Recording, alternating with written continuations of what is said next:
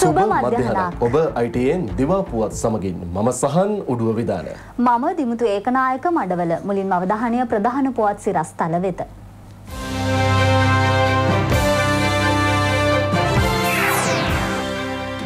දස වැතෑරුම් ප්‍රතිපත්තියට කැබිනට් අනුමැතිය. වැලිකල් පස් ප්‍රවාහනය ලිහිල් කිරීම ගැන අවසන්තීන්දුව ලබන කැබිනට් හමුවේදී.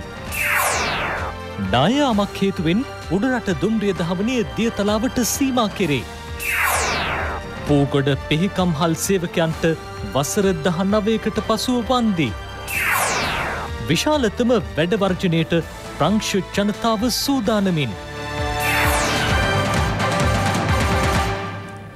රට සංවර්ධනය කිරීම සඳහා අග්‍රාමාත්‍ය මහින්ද රාජපක්ෂ මහතා ඉදිරිපත් කළ දස වැදෑරුම් වැඩපිළිවෙලට කැබිනට් අනුමැතිය හිමි වුණා.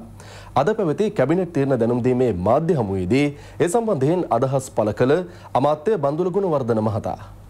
රට නැවත ආර්ථික පුනර්ජීවනයක් ඇති කිරීමේදී පලදායි පුරවැසිය. සතුටෙන් ජීවත් වෙන පවුලක් විනයගරුක සාධාරණ සමාජයක් සෞභාග්‍යමත් දේශයක් කියන චතුරුවිද අරමුණු ඉෂ්ට කර ගැනීම සඳහා දසවැදෑරුම් ප්‍රතිපත්තියක් මේ ජාතික ප්‍රතිපත්ති රාමුව තුළ සනිටුහන් කරලා තිබෙනවා. මෙම ජාතික ප්‍රතිපත්ති රාමුව තුළ වැඩ කරන රටක් බවට පත්කිරීමට අදාළ ප්‍රතිපත්ති රාමුව තමයි මෙහි ඉදිරිපත් කරලා තිබෙන්නේ. ගල් වැලි හා පස් ප්‍රවාහනය සඳහා පමණක් දැනට බලපත්‍ර ලබා ගැනීම අවශ්‍ය නොවන බවද අමාත්‍යවරයා මෙහිදී ප්‍රකාශ කළා. හැබැයි වැලි ගොඩ දැමීමට ගංගාවල්ඩිම කිරීමට එහෙම කිසිදු අවසරයක් ලිහිල් කිරීමක් සිද්ධ වෙලා නැති බව බොහොම අවධාරණයෙන් යුතුව මම කියන්ට කැමති ලබන කැබිනට් මණ්ඩලයේදී ඒ තීන්දුව ඇතිවන ප්‍රතිඵලය පුළුල් ලෙස විමර්ශනය කරලා මේ කැබිනට් තීරණය ස්ථිර ලෙස දීර්ඝකාලීනව ප්‍රවාහනය ලිහිල් කරනවාද කියන තීන්දුව ගන්නේ. අධ්‍යාපන පුහුණු ගුරුවරුන් බදවා ගැනීම සම්බන්ධයෙන්ද අමාත්‍ය බන්දුල ගුණවර්ධන මහතා අදහස් පළ කළා. අධ්‍යාපන අමාත්‍ය දළ සලප්පෙරුම් මැත්තුමා කැබිනට් මණ්ඩලයට යෝජනාවක් ඉදිරිපත් කළා. මේ විද්‍යාපීඨ සියල්ල විශ්වවිද්‍යාල පීඨ බවට පරිවර්තනය කරලා එහි ඉගෙනුම ලබන සියලුම දරුවන්ට අවුරුදු 4ක ප්‍රායෝගික පුහුණුවක් සහිත උපාධි පාඨමාලාවක් බවට පත් කළා. උපාධිධාරී පුහුණු ගුරුවරු බිහි කිරීමේ ආරම්භය සනිටුහන් කරන්න. පස්වරු එකෙන් පසු ප්‍රදේශ රැසකට තදවැසි ඇතිවිය හැකි බව කාලගුණ විද්‍යා දෙපාර්තමේන්තුව පවසනවා. එවිට තාවකාලිකව තද සුළං සහ අකුණු ද ඇතිවිය හැකි බවයි එම දෙපාර්තමේන්තුව පවසන්නේ.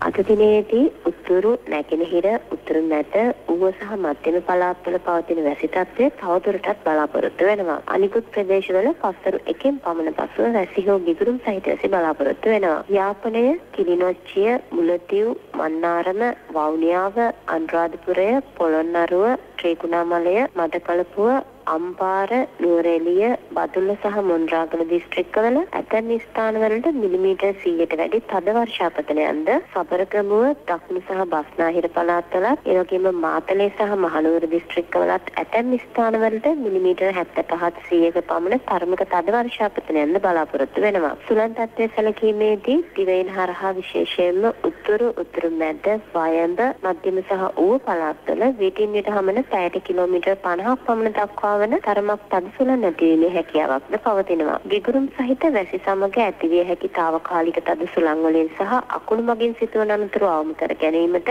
අවශ්‍ය පියවර ගන්නා ලෙස ජනතාවගෙන් කාරුණික විල්ලා සිටිනවා. පස්කඳු නායාමක් හේතුවෙන් උඩරට මාර්ගයේ දුම්රිය තහවනය දේතලාව දක්වා සීමා කර තිබෙනවා. බණ්ඩාරවෙල සහ දේතලාව අතර පිහිටි ඕබොඩැල්ල එකසිය පනස් නවේ සැතපුම් කණු අසල දුම්රිය මාර්ගයට විශාල පස්කන්දක් කඩා වැටී තිබෙනවා. ඊයේ රාත්‍රියේ මේ සිදු ඇත්තේ. ඒ හේතුවෙන් උඩරට මාර්ගයේ කොළඹ සිට බදුල්ල දක්වා ගමන් කරන දුම්රියන් දේතලාව දුම්රිය ස්ථානයේ දක්වා පමණක් ගමන් කිරීම සිදු වනවා. මෙම පස්කන්ද අඩි 100ක් පමණ උසට සහ අඩි 150ක් පමණ පළලට දුම්රිය මාර්ගයට වැටී ඇති බවයි අප වාර්තාකරුවන් පවසන්නේ. ඒ හේතුවෙන් ඒවත් කිරීමට දින කිහිපයක් ගත වනු ඇති බවට විශ්වාස කෙරෙනවා. කෙසේ වෙතත් මේ වන විටත් පස්කන්ද ඉවත් කිරීමේ කටයුතු ආරම්භ කර තිබෙනවා. පොළොන්නරුව දිස්ත්‍රික්කයේ කුඹුරක් කර දහස් ගණනක් ජලයෙන් යට වී තිබෙනවා. මහවැලිගඟේ ජල මට්ටම අඩි 18ක් දක්වා ඉහළ ගොස් ඇති බවයි අප වාර්තාකරුවන් පවසන්නේ. මනම්පිටිය ප්‍රදේශයේදී මහවැලිගඟේ ජල මට්ටම අඩි 18 දක්වා ඉහළ ගොස් ඇති බව පොළොන්නරුව දිස්ත්‍රික් ආපදා කළමනාකරණ ඒකකයේ සහකාර අධ්‍යක්ෂ උපුල් නානායක්කාර මහතා පවසනවා. මහවැලිගඟ දෙපස ජනතාවට සැලකිලිමත් වන ලෙසයි ඔහු ඉල්ලා සිටින්නේ. බඩකලපු දිස්ත්‍රික්කයේ ආපදාවට පත් ජනතාවට පිසු ආහාර සහ සෙසු පහසුකම් ලබාදීමේ කටයුතු සාර්ථකව සිදු කෙරෙන බව අදාළ නිලධහරින් පවසනවා. ඔවුන්ට තවදුරටත් සහන සැලසීම් පිළිබඳ සාකච්ඡාවක් පැවැත්වුණේ දිසාලේකම් මානික්කම් උදයකුමාර් මහතාගේ සහ පාර්ලිමේන්තු මන්ත්‍රී එස් ව්‍යාලේන්ද්‍රන් මහතාගේ ප්‍රධානත්වයෙන් අවතැන් වූවන් කඳුරු කිහිපයක නතර කර තිබෙනවා. වෞනියාව දිස්ත්‍රික්කයේද පහත් බිම් රැසක් චලින් යට වී තිබෙන බවට වාර්තා වනවා. නෙදුන්කනි සෙට්ටිකුළම වෞනියාව හා වෞනියාව දකුණ ප්‍රාදේශීලකම් කොට්ටාසවලට ජල ගැලීම් තත්ත්වය වැඩි වශයෙන් බලපා තිබෙනවා. මෙතර අයහපත් කාලගුණයක් සමග ප්‍රදේශ කිහිපයකට රතු නිවේදන නිකුත් කර ඇති බව ආපදා කළමනාකරන මධ්‍යස්ථානයේ පවසනවා. අවවාදාත්මක නිවේදන කෙරෙහි නිරන්තරයෙන් සැලකිලිමත්වන ලෙසයි එම මධ්‍යස්ථානයේ ඉල්ලා සිටින්නේ. පීඩාවට පත් මුළු පවුල් සංඛ්‍යාව හාරදහස් එකසිය පනස් තුනක පුද්ගලින් දාහත දහස් එකසිය හැට හතර දෙනෙක් පීඩාවට පත් වෙලා ඉන්නවා. විශේෂම නිවාසහානි වශයෙන් නිවාස පූර්ණහානි හයකුත් අර්ධහානි අටසිය පනස් නමයකුත් මේ වෙනිට වාර්තා වෙනවා. මේ ආරක්ෂිත ස්ථානයන් ප්‍රමාණය වැඩි වෙලා තිබෙනවා. විසි නමයක් දක්වා ඊට අමතරව පවුල් නමසිය හතලිස් හයක පුද්ගලින් තුන්දහස් එකසිය හතලිස් නම දෙනෙක් තාවකාලිකව රඳවා තිබෙනවා. ඊට අමතරව වාන්දුරට විවෘත කිරීම රාජාංගනයේ උඩවලව උල්හිටිය තබ්බෝව අංගමුව දැදුරුවය ඉබ්බන්කටුව වැනි ජලාශ ජලාස කලාවය ලුණුගම්වේර වෙන ජලාශවල වාන්දුවට විරුද්ධ කරලා තිබෙනවා. සෑම විටම දිස්ත්‍රික් මට්ටමිනුත් අපි පහළ ජවාරි කලාපවල සිටින ජනතාවට දැනුවත් කරනවා විශේෂ අවධානයෙන් පසු ඉන්න ජාතික ගොඩනැගිලි පරීක්ෂණ ආයතනය නිකුත් කළ තියෙන නිවේදනය තවමත් වළංගු වෙනවා. මේන් කෑගල දිස්ත්‍රික් ඉවත් වෙලා තියෙනවා. නුවරඑළිය රත්නපුර බදුල කියන දිස්ත්‍රික්ක තමයි මෙම නායම් නිවේදනයට යටත් ස්විස්ටර්ලන්ත තානාපති කාර්යාල නිලධහරණියගේ සිද්ධිය සම්බන්ධයෙන් අදාළ අංශ පූර්ණ විමර්ශනයක් සිදු කරන බැවින් ඒ පිළිබඳ ඉවසීමෙන් බලා සිටින්නැයි රජය දැනුම් දෙනවා. මේ පිළිබඳව කැබිනට් තීරණ දැනුම් දීමේ මාධ්‍ය හමුවේදී මාධ්‍යවේදීන් ප්‍රශ්න කර සිටියා. පූර්ණ ලෙස රහස් පොලිසිය විසින් ඉතාම පැහැදිලි විනිවිධ පේන ආකාරයේ පරීක්ෂණයක් කරගෙන යනවා. ඒ සඳහා විදේශ කටයුතු භාර අමාත්‍යතුමා සියලුම තානාපතිවරුන් දැනුවත් කරලා තියෙනවා. අධිකරණයට මේ සියලු තොරතුරු වාර්තා කරලා තියෙනවා. අධිකරණ නියෝගවලට අනුව ඒ පිළිබඳ අපක්ෂපාතී පරීක්ෂණයක් රාස් පොලිසිය විසින් කරගෙන යනවා. කාර්යාලය සම්බන්ධයෙන් රාජ් සේනාරත්න එතුමා කියලා තියෙනවනේ මේ මාධ්‍යමවත් තියලා ඒදී ඔහුගෙන් ප්‍රකාශයක් ගන්න කියාවක් තියෙනවද? ඇත්තටම එතුමාගේ මේ සම්බන්ධයෙන් දැනුවත්කමක් තිබෙන බව පෙනීලා තිබෙනවා. ඒ නිසා ඉල්ලීමක් කරලා තිබෙනවා රජය හැටියට එතුමාගෙනුත් ප්‍රකාශයක් සටහන් කරගන්න කියලා. ඒක ඉතාම යෝග්‍යයි. මොකද එතුමා කරුණු ප්‍රමාණයක් දන්න බව තමයි පෙනෙන්න තිබුණේ. තානාපති කාර්යාලයේ කාන්තාව දැන් අනිත් විපක්ෂයේ කණ්ඩායම කියනවා ඉන්නවා කියලා කාර්යාලය තුල. ඔබතුමන්ලා හරියට දැනුවත් නෑ අපි ඇත්තට මේ සම්බන්ධයෙන් නිශ්චිත දැනුමක් නැහැ. එතුමිය කවර ස්ථානයක සිටිනවාද කියන කරුණ පිළිබඳව ඒ නිසා තමයි විදේශ කටයුතු ඇමතුමා ඉල්ලීමක් කරේ. ඉදිරියට ඇවිල්ලා අවශ්‍ය ඒ සාක්ෂි සාධක සපයන්නට කියලා මේ පරීක්ෂණය පහසු කරන්න. ඉතින් අපේ විශ්වාසය මේ රජය පත්වීමෙන් පසුව නැවත වතාවක් අන්තර්ජාතික ප්‍රජාව අතර රට සහ රජය අපහසුතාවට පත් කිරීම අනුමුරින් ක්‍රියාත්මක වන සිද්ධි මාලාවක් හැටියට අපි මේක දකින්නේ. රජයක් විදිහට ඒක බලපෑම් කළා මෙතන ස්ථීරව හරි තීරණයක් ගන්න හැකියාව හැකියාවක් නැද්ද? නෑ අපිට අනවශ්‍ය බලපෑමක් කරන්නටත් අවශ්‍යතාවයක් නැහැ. එහෙම කරාට පස්සේ ඔබ දන්නවා ඊළඟ වතාවට මතුවෙන ප්‍රශ්නය තානාපති කාර්යාලයට අනවශ්‍ය බලපෑම් කරනවායි කියලා ඒකට විරුද්ධව මතයක් ගොඩනගෙනවා. ඒ නිසා අපි ටිකක් ඉවසීමෙන් බලන් ඉදිමු. මීළඟ ජිනීවා සමුළුවේදී ශ්‍රී ලංකාවට එරෙහිව යෝජනාවක් ගෙනීම සඳහා මෙම සිද්ධිය නිර්මාණය කර ඇති බවයි හත්වනි පෑ වැඩසටහනට එක්වෙමින් ආචාර්ය නාලක ගොඩහේවා මහතා ප්‍රකාශ කළේ.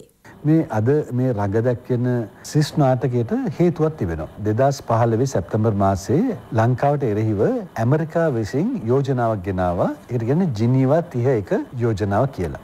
මේ තිහේක යෝජනාවට අවුරුදු තුනක කාලයක් තියෙනවා. ඒ අවුරුදු තුනක කාලය තුල ලංකාවේ රජයේ යෝජනාවේ තියෙන 90%ක්ම දේවල් ක්‍රියාත්මක කරා. අන්තිමට ඉතුරුලා තිබුණේ ලංකාවේ ව්‍යවස්ථාව වෙනස් කිරීම පමණයි. ඉතුරු ටික ඔක්කොම කරලා ඉවරයි අර විදේශ රටවලට අවශ්‍ය විදියට. මේ යෝජනාව ගෙනාවේ ඇමරිකානු රජය. ලංකාවේ රජය මේ යෝජනාවට සමානුග්‍රහකත්වය දුන්නා. හැබැයි ඇමරිකානු රජය 2018 වසරේ ආරවුලක් ඇති කරගෙන ජිනීවා මානව හිමිකම් කවුන්සිලත් එක්ක ජිනීවා මානව හිමිකම් කවුන්සිලෙන් ඉවත් වුණා. එලා ඇමරිකාවේ විශ්ව ජාතික සංවිධානයේ තානාපතිනිය නිකි හේලි මහත්මිය තාමත්ම බරපතල දැඩි ප්‍රකාශන නිකුත් කරා මේ ජිනීවා මානව හිමිකම් කවුන්සිලය කියලා කියන්නේ අන්තිම දූෂිත තැනක්. මෙතන තනිකර දේශපාලනය සිද්ධ වෙන්නේ. මෙතන කිසිම සාධාරණයක් වෙන්නේ නැහැ. දේශපාලන මඩ වගුරක් කියලා ප්‍රකාශයක් කරලා ඇමරිකාව ඒ මානව හිමිකම් කවුන්සිලයේ රටවල් 47ක් තියෙනවා ඇමරිකාව අස්සුනවා. ඊට පස්සේ මේ ජිනීවා 30 යෝජනාවට ඉතුරුනේ එක අනුග්‍රහකෙක් පමණයි. ඒ තමයි ලංකාවේ හිටපු රජය. දැන් මේ යෝජනාවේ අවුරුදු තුන ඉවරයි. අවුරුදු තුන මේ අවුරුද්ද ඉවර වෙනවා. එතකොට ඊළඟ අවුරුද්දේ දෙනිවාල එහෙම යෝජනාවක් නැහැ. ඒක එතනින් එහාට ගෙනියන්න බෑ. එතකොට මේගොල්ලෝ තාමත් තියෙන අර ව්‍යවස්ථාව සම්මත කර ගැනීම අවශ්‍යතාව. ඒක තමයි අර අන්තවාදී දෙමළ ඩෑස්පෝරට අවශ්‍ය. තුර අලුත් යෝජනාවක් නැතුව ඕක එතනින් යාට ගෙනියන්න බෑ. ඒ නිසා උන්ට දැන් හොයන්න ඕනේ සම්පත්දායකයෙක්. මේක ඉස්සරහට ගෙනියන්න. ඒතර අපිට දැන් දැනගන්න ලැබිලා තියෙන විදිහට ඊළඟ උන්ට අලුත් යෝජනාවක් ගෙන බලාපොරොත්තු වෙනවා. ඒ අලුත් යෝජනාව ගෙන අවස්ථාවේදී අනුග්‍රහකයා වන්නේ ස්විට්සර්ලන්ත රජය. ඒතර දැන් ස්විට්සර්ලන්ත රජයට කාරණයක් ඕනේ මේ වැඩේට එන්න. මේ වැඩිට වෙලා ලංකාව ගැන ඒගොල්ලෝ ප්‍රශ්න පෙන්වන්න බෑ. දැන් ඔබට පේනවා නාටකේ තිර රචනය ලියවෙන්න පටන් ගන්නේ කොහොමද කියලා. ඕන දෙයක් හරියට අධ්‍යයනය කරොත් අපිට මේක හේතු හොයාගන්න පුළුවන්. ඊළඟ මේ ජිනිවා සමුළුවේදී ලංකාවට එරෙහිව යෝජනාවක් ගේනවා නම් ඒ යෝජනාව පිටිපස්සෙන් ඉන්නේ ස්විට්සර්ලන්ත රජය. ඔවුන් දැන් මේ සඳහා අවශ්‍ය කරන පදනම ගොඩනමකින් තිබෙනවා. මේ රග දක්වන නාටකයේ අවසානයේ ඔවුන් පාවිච්චි කරනවා ජිනිවා වලට ගිහිල්ලා කියන්න ලංකාවේ මානවිකයන් කඩ වෙනවා අපිත් ඒක අත්දැක්කා අපේ තානාපති කාර්යාලය තුලම අපි ඒක අද්දුටුවා අපේ තානාපති කාර්යාල නිලධාරීන්ව පහරගෙන ලක් වුණා කියලා ඔවුන් ඊළඟ යෝජනාව කියනවා. ඒ යෝජනාවේ මොන දේවල් කතා වුණත් අවසානයේ තියෙන්නේ ලංකාවේ ව්‍යවස්ථාව වෙනස් කරලා රට බෙදන්න ඕන කියන කාරණය. පූගොඩ පෙහෙකම්හලේ සේවකයන්ට වසර 19කට පසු වන්දි ප්‍රදානය කෙරුණා. රජයට අයත් පූගොඩ පෙහකම් හල වැසි යන අවස්ථාවේ එහි දෙදහස් තුන්සියක පවන පිරිසක් සේවය කරමින් සිටියා. ඔවුන්ට හිඟ වැටුප් ගෙවීමට මුදල් අමාත්‍යංශය තීරණය කළා. ඒ අනුව අදාළ වන්දි ප්‍රදානයේ පසුගියදා සිදු කෙරුණේ දොම්පේ ප්‍රාදේශීය ලේකම් කාර්යාලීය ශ්‍රවණාකාරයේදී. නිලධාරීන් මිස දේශපාලන නියෝජිතයන් කිසිවෙකුත් ඊට සහභාගී නොවීමද විශේෂත්වයක්. වසර ගණනාවකට පසු තමන්ට වන්දි පිරිනැමීම සම්බන්ධයෙන් සේවකයන් රජයට ප්‍රසාදය පළ කළා. මේ පූගට පේකම්මලේ වසර ගණනාවක් සේවය කරපු සේවක මහත්ම මහත්මීන්ට මේ උදාර කර්තව්‍ය ඉෂ්ට කළ දුන්නා. ඒ ගැන මම අනේක වාරයක් ස්තුතිවන්ත වෙනවා. අපිට ඉතින් මේවා ආයි ලැබෙන්න සලස්වීම ගැන ස්තුතිවන්ත වෙනවා. අපිට හරි සතුටුයි ඉතින් අවුරුදු ගාණක් ගිහිල්ලා අවුරුදු උනන්දුවක් වුණේ නැති දෙයක් මේක.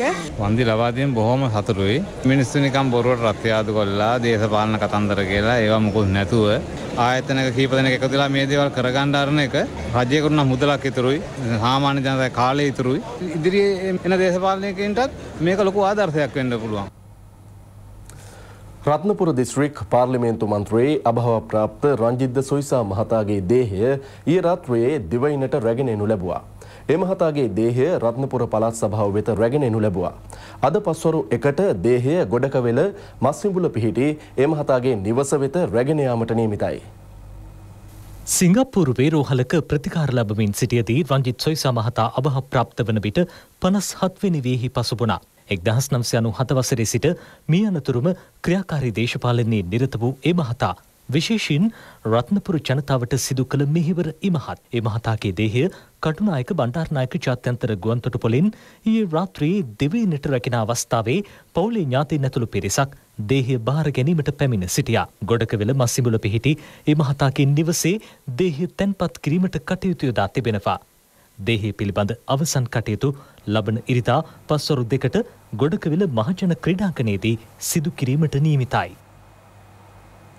ජීවන වියදම් කමිටුව රැස්වී සහල් ගැටලුවට විසඳුමක් ලබා ගැනීමට අපේක්ෂා කරන බව රාජ්‍ය අමාත්‍ය අනුර ප්‍රියදර්ශන යාපා මහතා පවසනවා. නාඩු සහ සුදු කැකුළු සහල්වල යම් හිඟයක් පවතිනවා. ඒ හේතුවෙන් එම සහල්වල මිල ගණන් ඉහළ ගොස් තිබෙනවා. ඇතැම් වෙළඳුන් හිතුමතේ සහල් මිල ඉහළ නංවා ඇති බවයි වාර්තා වන්නේ.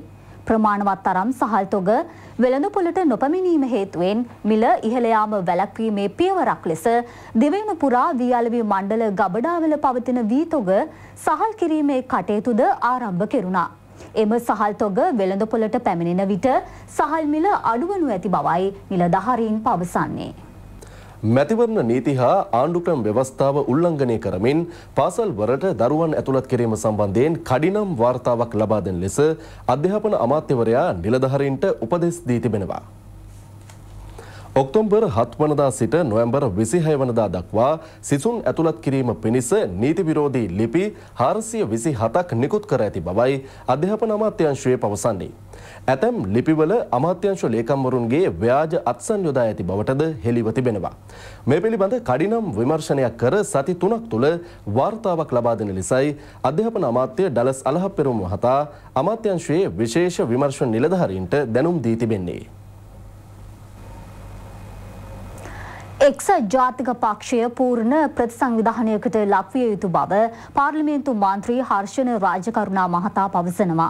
අද පැවැත්වෙන එම පක්ෂයේ මන්ත්‍රී කණ්ඩායම් රැස්වීමේදී මේ සම්බන්ධයෙන් සාකච්ඡා කරනු ඇති බවයි මන්ත්‍රීවරයා කියා සිටින්නේ. එක්සත් ජාතික පක්ෂයේ පූර්ණ ප්‍රතිසංවිධාන කටයුත්තක් සිදුවෙන්න ඕනේ. මේ බහුතර පාර්ලිමේන්තු මන්ත්‍රීවරුන් තා පැහැදිලිවම පක්ෂ නායකත්වයත් ඒ වගේම විපක්ෂ නායකත්වයත් සජිත් ප්‍රේමදාස මැතිතුමාට ලබා දෙන්න ඕනේ කියන යෝජනාව මේ වෙනකොට සඳහන් කරලා තියෙනවා. බහුතරයක් ඒක පිළිගෙන තියෙනවා. ඒ වගේම රනිල් වික්‍රමසිංහ මැතිතුමත් කරු ජයසූරිය මැතිතුමත් අපේ නව කණ්ඩායම උපදේශකත්වය ලබා දෙමින් හරි ගමනක් යන්න ඒ සියලුම දෙනාම එකතු කරගෙන ඉදිරි මැතිවරණයකට මුහුණ දෙන්න තමයි අපි බලාපොරොත්තු. පුවත් කිහිපයක් ලුහුඩින් දකිමු දැන්. වර්තමාන කොටස් වෙළඳ පොලෙහි සැලකිය යුතු වර්ධනයක් පවතින බව එහි නිලධහරින් පවසනවා. කොළඹ කොටස් හූමාරුවේ පැවැති උත්සවයකදී මේ බව ප්‍රකාශ කෙරුණේ. කොටස් හූමාරුව සහ ග්ලෝබල් රිපෝටිං ආයතනයේ දෙවර්ෂපූර්ණ සැමරුම වෙනුවෙන් උත්සවය පැවැත්වුණා. විසි හත්වන ජාත්‍යන්තර ආබාධ දිනයට සමකාමීව සංවිධාන කළ සැමරුම් උත්සවයක් කොළඹදී පැවැත්වුණා. ඒ බස්නාහිර පළාත් ආණ්ඩුකාර විශේෂඥ වෛද්‍ය සීතා අරබීපොළ මහත්මියගේ ප්‍රධානත්වයෙන් පළාත් ප්‍රධාන ලේකම් ප්‍රදීප් යසරත්න මහතා ඇතුළු පිරිසක් මෙම අවස්ථාවට එක් වුණා. දොහා කටා රාජ්‍යයේ ස්ටැෆර්ඩ් ශ්‍රී ලංකා පාසල පිළිබඳ මාධ්‍ය හමුවක් කොළඹදී පැවැත්වුණා. කිහිප දෙනෙකු එහිදී අදහස් දැක්වූවා. ගල්කිස්ස පොලිස් බල ප්‍රදේශයේ පොලිස් නිලධහරින්ගේ දරුවන් එකසිය තිස් හත් දෙනකොට පාසල් බෑග් හා පොත්පත් ආදී ප්‍රධානය කිරීමේ උත්සවයක් රත්මලාන පරම ධම්මචේතිය පිරිවෙනේදී පැවැත්වුණා. එම පිරිවෙනේ ආදී විද්‍යාර්ථීන්ගේ සංගමයයි ඒ සංවිධාන කළේ. ඒ සමගින් නයිටන් දිවා ප්‍රවෘති අවසන්. ඔබට සුබ දවසක්. www.itnnews.lk